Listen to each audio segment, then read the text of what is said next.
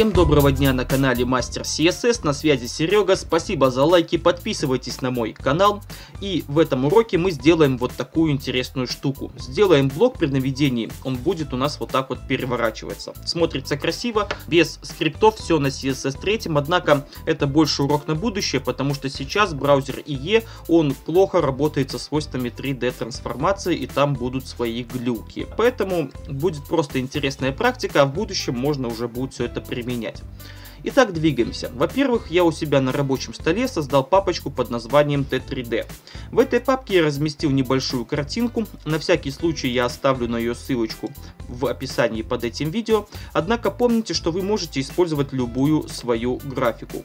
Теперь, пожалуйста, откройте папочку T3D в редакторе. В ней уже должна быть картинка какая-то. Здесь мы создаем новый файл index.html и затем еще один файл под названием style.css. CSS. Теперь давайте разделим экран на две, чтобы у нас с одной стороны был файл индекс, а файл стилей с другой. Сначала заведем базовый код для нашего файла index.html. Здесь пропишем 3D transform, здесь пропишем ru и сразу же давайте подключим файл стилей clean style css. Теперь давайте зададим простенькую структуру для нашего переворачивающегося блока. Сначала создадим блок t3d, в котором будет все происходить. Затем создаем блок с классом rotate и вот этот блок у нас будет сам по себе уже переворачиваться. Внутри него у нас будет идти картинка, ниже под самой картинкой у нас будет еще идти один блок, текст, внутри которого будет блок pd, то есть там будут паддинги. И здесь будет идти абзац хлором 3 плюс абзац, в котором будет хлор 27. Давайте мы сохранимся, посмотрим, что у нас тут получилось. Замечательно. Теперь давайте перейдем к стилям и немножко здесь похимичим. Во-первых, для боди мы тут уберем отступы, поля, затем шрифт пропишем к 1em слэш 2em sans шрифт. Потом background решетка EEE, цвет шрифта давайте сделаем 3D, 3D, 3D. Точка запятой, сохраняемся, смотрим, видим, все применилось. Теперь давайте ужмем размер. Так, для самого блока точка T3D задаем сейчас ширину width в 300 пикселей. Потом высоту давайте мы зададим 400 пикселей. Теперь, так, margin 50 пикселей и auto. Сохранимся, смотрим, видим, все отлично работает. Теперь давайте мы наш текст поместим сюда повыше, то есть чтобы он был на самой картинке.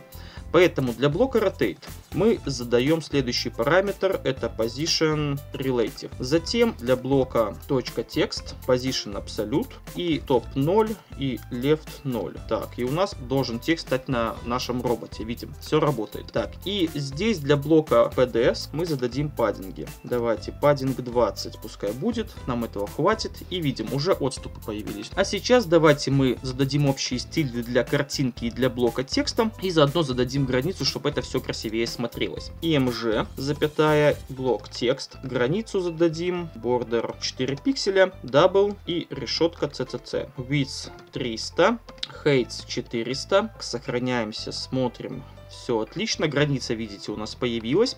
И давайте мы еще зададим background, bg, решетка fff, точка запятой, сохраняемся.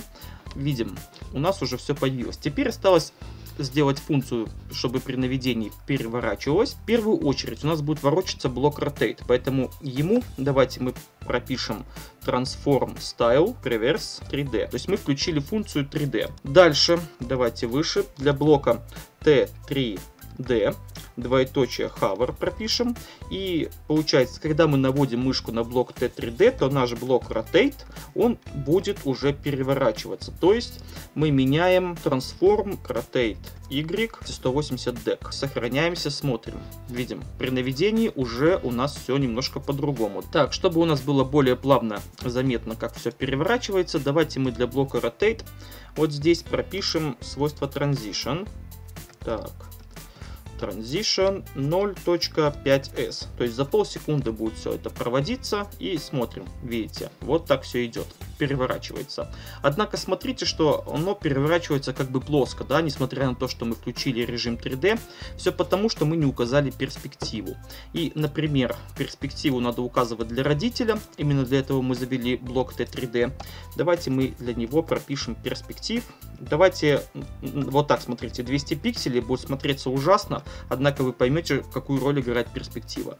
Так, смотрим, 200 пикселей, бах, видите, как он переворачиваться начал, да? То есть мы очень близко как бы находимся к блоку, и он нам чуть ли не по фейсу дает. Так, поэтому давайте перспективу сейчас поставим нормальную в 1000 пикселей, например. И смотрите, опа, уже смотрится все намного лучше. Осталось сделать так, чтобы у нас начала отображаться наша картинка. Поэтому давайте мы для нашего блока пропишем следующее. Текст. И здесь напишем свойство backface visibility hidden. То есть, когда текст будет перевернут, он будет просто-напросто не отображаться. И смотрите, бах, и у нас уже отображается картинка. Однако, если вы внимательно посмотрите и увидите, что наша картинка, она отображается в другую сторону. То есть, например, когда это будут надписи идти, там сразу будет видно, что что-то не так. Здесь надписи нету, только 0.1 видим. Поэтому смотрится, в принципе, нормально. Однако, согласитесь, это не так. Так, поэтому что мы делаем? Мы для нашего блока IMG точнее для нашей картинки. Прописываем тот же самый rotate, давайте мы его вот так. То есть мы ее изначально сделаем уже перевернутой. И таким образом она будет уже нормально смотреться. Давайте, оп, так, что-то у меня тут начало глючить, и не по-детски. Сейчас мы это поправим. Так, Transform 3D. Давайте мы тут тоже напишем Backface Visibility Hidden.